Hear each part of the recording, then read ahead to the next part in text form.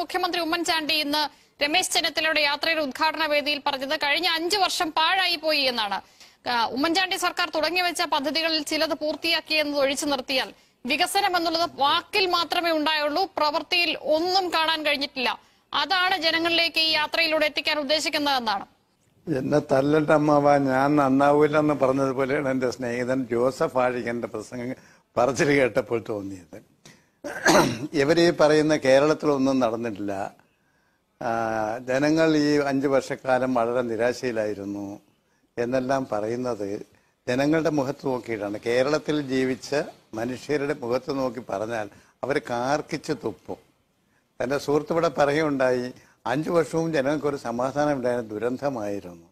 വെള്ളപ്പൊക്കവും പേമാരിയും Nipah വൈറസും Covid രോഗവും ഇതൊക്കെ ഈ ഗവൺമെന്റ് ഒരു ദൈവാധീനമില്ലാഞ്ഞിട്ടാണെന്നാണ് ഇതെല്ലാം വന്നിട്ട് അതിനെ നേരിടാനുള്ള കരുത്ത് ഈ ഗവൺമെന്റിനുള്ളത് അഴിക്കന്റെ വിശ്വാസം അനുസരിച്ചാണെങ്കിൽ ദൈവാധീനം ഉള്ളതുകൊണ്ടാണെന്ന് പറയാം. ഞാൻ ചോദിട്ടെ ഏറ്റവും വലിയ ദൈവവിശ്വാസികൾ ഭരിക്കുന്ന രാജ്യങ്ങളിൽ അമേരിക്കയാണല്ലോ നിങ്ങളുടെയൊക്കെ ഒരു തലതൊട്ടപ്പന്റെ രാജ്യം. ട്രംപിന്റെ രാജ്യം പ്രകീർത്തിക്കുന്നവരാണല്ലോ നിങ്ങൾ. അമേരിക്കയുടെ നേട്ടങ്ങളെക്കുറിച്ച് എപ്പോഴും നിങ്ങൾ സോവിയറ്റ് യൂണിയനെയും ചൈനയും കമ്മ്യൂണിസ്റ്റുകാരെയും അവർ നിരീശ്വരവാദികളുടെ രാജ്യമാണ് ഇടിച്ചു പറയുന്നവരാണല്ലോ. രണ്ടു ലക്ഷത്തിൽ പരം പേരാണ് ഇപ്പോൾ ഈ കോവിഡ് വൈറസിന്റെ ഫലമായി മരിച്ചു വീണത്. രണ്ട് ലക്ഷത്തിൽ പരം ആളുകൾ. ഇപ്പോഴും അവിടുത്തെ സ്ഥിതി എന്താ? ലോകത്ത് മുഴുവൻ പത്തു കോടി ആളുകൾക്ക് വൈറസ് ബാധിച്ചതൊക്കെ ദൈവാധീനമില്ലാഞ്ഞിട്ടാണോ? ഇവിടെ മരണസംഖ്യ ഇപ്പോഴും സീറോ പോയിന്റ് ടു ഫോർ ആണ്. ഇന്ത്യയുടെ നിരക്ക് അതിനേക്കാൾ മരണസംഖ്യ കൂടുതലാണ്. ഇവിടെ ഇപ്പൊ രോഗികൾ കൂടുന്നുണ്ട്. എത്ര രോഗി കൂടിയാലും അവരെ രക്ഷിക്കാനുള്ള സംവിധാനമുള്ള ഏക നാടാണ് ഇന്ത്യ രാജ്യത്ത് ഈ കേരളം. ലോക സംഘടനകൾ പോലും ഇപ്പൊ പറഞ്ഞു, ലോകത്ത് രണ്ട് പ്രദേശങ്ങൾ മാത്രമാണ്. രണ്ട് രാജ്യങ്ങളെന്നാണ് അവർ നമ്മുടെ മുന്നിൽ നിൽക്കുന്നു ശ്രീ അനന്തലവട്ടമാനന്ദൻ രാജ്യത്ത് ആദ്യം രോഗം റിപ്പോർട്ട് ചെയ്യപ്പെട്ട സംസ്ഥാനം ഇപ്പോഴും രോഗനിരക്കിന്റെ കാര്യത്തിൽ ഉയർന്ന നിലയിൽ തന്നെ നിൽക്കുന്നു. അത് ആരുടെ പരാജയമാണ്? അതെ. നിഷ ഒരു കാര്യം ഞാൻ പറയട്ടെ. ഞാൻ അവരുടെ ചോദ്യങ്ങൾക്ക് മറുപടി പറഞ്ഞിട്ട് പിന്നെ നിഷയുടെ ചോദ്യം കൂടെ പറഞ്ഞാൽ പോരെ. വേറെ മൂന്ന് പേര് അവിടെ ഇരിപ്പുണ്ടല്ലോ. അവരുടെ പറയണ്ടേ? അതിലിപ്പം ജോസഫ് വാഴിക്കൻ പറഞ്ഞതിന് ഞാൻ മറുപടി പറയട്ടെ? അപ്പൊ അതിനിടെ പിന്നെ നിഷ ഞാൻ ജോസഫ് വാഴിക്കൻ പറഞ്ഞതിനൊക്കെ പറഞ്ഞതിന് ശേഷം ചോദിച്ചാൽ ഞാൻ പറയാം. ജോസഫ് എല്ലാത്തിനും ഉത്തരം വാഴിക്കനെ പറയാനുള്ള സഹായിക്കണോ തന്നെ താങ്കൾ കോവിഡ് പ്രതിരോധത്തെ കുറിച്ച് പറഞ്ഞതുകൊണ്ട് ചില കാര്യങ്ങൾ ഓർമ്മിപ്പിച്ചു എന്ന് മാത്രം. അല്ല അപ്പൊ അങ്ങനെയാണെങ്കിൽ അതെ അതിലേക്ക് ഇല്ല അത് ഞാൻ പറയാൻ ഞാൻ തന്നെ പറഞ്ഞല്ലോ. ഇപ്പൊ നിപ്പ വൈറസ് ഇവിടെ എത്ര കൂടിയാലും അവരെ രക്ഷിക്കാനുള്ള ഒരു സംവിധാനം ഇവിടെ ഉണ്ടെന്നുള്ളത് കൊണ്ട് ജനങ്ങൾ ഇക്കാര്യത്തിൽ ഒരു സീരിയസ്നെസ് കാണിക്കുന്നില്ല എന്ന ആക്ഷേപം ഇപ്പൊ കേരളത്തിലുണ്ട്. തദ്ദേശ തെരഞ്ഞെടുപ്പിൽ വന്നപ്പോഴുള്ള ഈ കോവിഡൊക്കെ വന്നാലും കേരളത്തിൽ രക്ഷപ്പെടാം. ചികിത്സിക്കും. സൗജന്യ ചികിത്സ കിട്ടും. സർക്കാർ ഇവിടെ ഉണ്ട് ഇവിടെയുണ്ട് ആശുപത്രിയുണ്ട്. കേരളം കഴിഞ്ഞുള്ള രാജ്യങ്ങൾ സംസ്ഥാനങ്ങളും രാജ്യങ്ങളെ പോലെയല്ല. കാശുള്ളവന് മാത്രം ചികിത്സ കിട്ടുന്നതല്ല. കേരളത്തിൽ പത്ത് പൈസ മുടക്കാതെ തന്നെ ചികിത്സ കിട്ടും. ആ ഒരു വിശ്വാസത്തിന്റെ അടിസ്ഥാനത്തിൽ ജനങ്ങൾ ഇതിനെ നിസ്സാരവൽക്കരിച്ച് കാണുന്നത് ശരിയല്ല എന്ന് പറയാൻ ഞാൻ ഒരുങ്ങുമ്പോഴാണ് നിഷ ഒരു ചോദ്യമായിട്ട് വന്നത്. അപ്പൊ ഞാൻ അക്കാര്യത്തിൽ ഇവിടെ ഇവർ പറയുന്നത് ഐശ്വര്യ കേരളം പടുത്തുയർത്താൻ ഐശ്വര്യ കേരളം നിങ്ങൾ കഴിഞ്ഞ തവണ ഭരിച്ചപ്പോൾ ഐശ്വര്യ കേരളവും അഴിമതി മുക്തമായ ഭരണം നടത്തിയതല്ലേ? ആ ഭരണത്തിന്റെ സ്ഥിതി എന്തായി? ഇപ്പൊ ആഴക്കം പറയാണ് ഇവിടെ പൈപ്പ് ലൈൻ പൂർത്തിയാക്കി. അത് ഞങ്ങളോട് തുടങ്ങി. നിങ്ങൾ എന്തെല്ലാം തുടങ്ങി? ഏതാ പൂർത്തിയാക്കിയത്? പൈപ്പ് ലൈൻ വഴിയിലിട്ടിട്ട് പോയില്ലേ? ഗെയിൽ പൈപ്പ് ലൈൻ ഇപ്പോഴല്ലേ അത് പൂർത്തിയാക്കുന്നത്? ഇവിടെ ഒരു പുതിയ പദ്ധതിയും തുടങ്ങിയില്ല. ഈ കേരളത്തിന്റെ വളർച്ചയ്ക്ക് വികാസത്തിന് ഭാവി തലമുറയുടെ അവരെ സുരക്ഷിതരാക്കാൻ വേണ്ടി ഈ കേരളത്തിലെ വിദ്യാഭ്യാസ രംഗത്ത് കൊണ്ടുവരുന്ന പരിഷ്കാരം നിങ്ങൾക്ക് എത്തി നോക്കാൻ കഴിയുമായിരുന്നു ചിന്തിക്കാൻ കഴിയുമായിരുന്നു.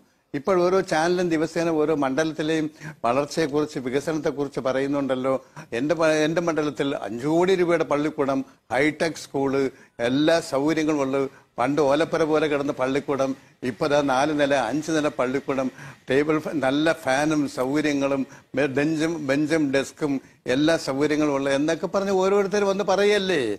അങ്ങനെയൊക്കെ ഉള്ള ഇതെല്ലാം നിങ്ങൾക്ക് എന്താ തിമിരം ബാധിച്ചു പോയോ? ഈ കേരളത്തിൽ നടക്കുന്നതൊന്നും കാണാം. ഉമ്മൻചാണ്ടിക്കും രമേശ് ചെന്നിത്തലയ്ക്കും ജോസഫ് വാഴിക്കനും ഒക്കെ ഈ കേരളത്തിൽ നടക്കുന്നതൊന്നും നിങ്ങൾക്ക് കാണാൻ പറ്റുന്നില്ലേ? ജനങ്ങളെല്ലാവരും കാണുന്നു. പക്ഷെ നിങ്ങൾ കാണുന്നില്ല. എന്തൊരു അത്ഭുതമാണിത്.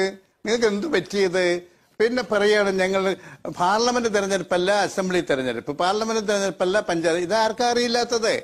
പാർലമെന്റ് തെരഞ്ഞെടുപ്പ് തൊള്ളായിരത്തി എഴുപത്തി അഞ്ചിൽ അടിയന്തരാവസ്ഥ കഴിഞ്ഞ എഴുപത്തി ഏഴ് പാർലമെന്റ് തെരഞ്ഞെടുപ്പ് ഇന്ത്യ മുഴുവൻ പ്രതിപക്ഷങ്ങൾ തൂത്തുവാരിയപ്പോൾ ഇന്ദിരാഗാന്ധിയുടെ ഭരണം നഷ്ടപ്പെട്ടപ്പോൾ അന്നും ഇവിടെയുള്ള കോൺഗ്രസ്സുകാരെല്ലാരും കോ- ഇന്ദിരാഗാന്ധിക്ക് അനുകൂലമായി വോട്ട് ചെയ്തതല്ലേ? അത് ചരിത്രമല്ലേ?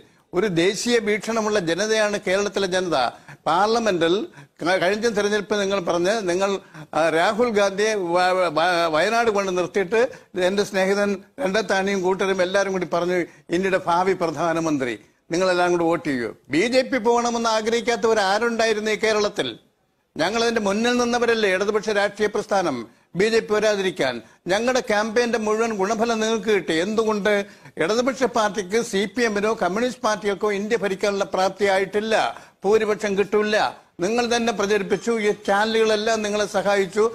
പറഞ്ഞു ഒരു ദേശീയ കക്ഷി എല്ലാ ഗ്രാമ ഗ്രാമാന്തരങ്ങളിലും സ്വാധീനമുള്ള രാഷ്ട്രീയ സ്വാധീനമുള്ള കക്ഷി കോൺഗ്രസ് ആണ് ബി ജെ പിക്ക് ബദൽ കോൺഗ്രസ് ആണെന്ന് പറഞ്ഞു. ജനങ്ങൾ അക്കാര്യത്തിൽ വിശ്വസിച്ചു. പക്ഷെ ബി ജെ പിയുടെ കുളരായ്മകളെ കുറിച്ച് ജനങ്ങളെ പഠിപ്പിക്കുന്നതിൽ ഞങ്ങൾ വഹിച്ച പങ്ക് നിസ്സാരമാണോ? ആ പങ്ക് അതിന്റെ ഗുണഫലം നിങ്ങൾക്ക് കിട്ടിയെന്നുള്ള കാര്യം സത്യം. എന്നാൽ പഞ്ചായത്ത് തിരഞ്ഞെടുപ്പ് വന്നപ്പോഴത്തേക്ക് സാധാരണഗതിയിൽ ഭരിക്കുന്ന കക്ഷിക്ക് നെഗറ്റീവായി വോട്ട് വരണ്ടേ? തദ്ദേശ സ്ഥാപനങ്ങളിൽ അതല്ലേ കേരളത്തിന്റെ പാരമ്പര്യം? ഇത്തവണ അത് വന്നോ? നിങ്ങൾ ഇന്നിപ്പോ ഉപയോഗിക്കുന്ന അസ്ത്രങ്ങളെല്ലാം തന്നെ. ആ അസ്ത്രങ്ങളുടെയൊക്കെ മുനയൊടിഞ്ഞ അസ്ത്രങ്ങളാണ്. അതെല്ലാം തദ്ദേശ സ്ഥാപനങ്ങളിൽ ജനങ്ങൾ മടക്കി തന്ന്. അതിന്റെ വാഴ്ത്തള പോയി ഒരുമിച്ചിരിക്കുന്നു അതുകൊണ്ടാണ് ഇനി ഒരു പുതിയ യുദ്ധത്തിൽ ഐശ്വര്യ കേരള. യാത്രയുടെ. തുടക്കം. കേരളത്തിലുടനീളം നടക്കുന്ന വികസന പ്രവർത്തനങ്ങൾ യു ഡി എഫ് നേതാക്കൾ കാണുന്നില്ലെങ്കിലും ജനങ്ങൾ കാണുന്നുണ്ട് എന്നാണ് സി പി എമ്മിന്റെ ആത്മവിശ്വാസം. വാർത്തകൾ സുതാര്യമായും സുവ്യക്തമായും അറിയാൻ നാഷണൽ ന്യൂസ് ചാനൽ ഇനിയും സബ്സ്ക്രൈബ് ചെയ്തില്ലെങ്കിൽ എത്രയും പെട്ടെന്ന് തന്നെ സബ്സ്ക്രൈബ് ചെയ്യുക. ഒപ്പം കാണുന്ന ബെല്ലൈക്കണും ക്ലിക്ക് ചെയ്യാൻ മറക്കല്ലേ?